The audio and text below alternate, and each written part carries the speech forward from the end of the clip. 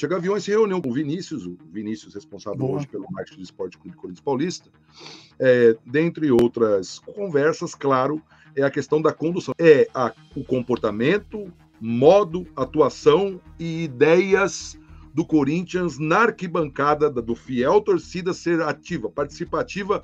Como que eles vão fazer ser mais, eu não sei, mas enfim, a ideia é essa. Tá?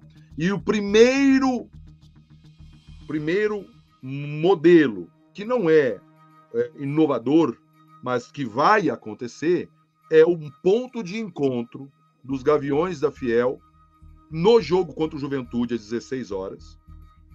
Ser ali na Arthur Alvim, naquela saidinha, onde fica as barraquinhas ali.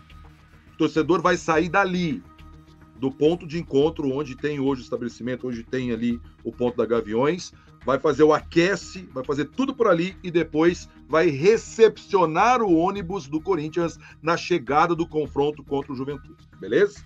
Então, hum, ponto de encontro, a sede da Gaviões no Arthur Alvim. Arthur Alvim, para quem não conhece São Paulo, é o bairro ao lado de Itaquera, é uma rua que divide as duas, entendeu? Arthur Alvim existe comércio, Itaquera existe a Neoquímica Arena, tá? Então, tudo acontece em Arthur Alvim.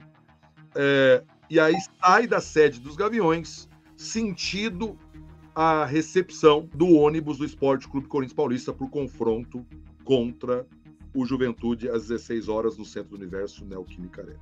Perfeito?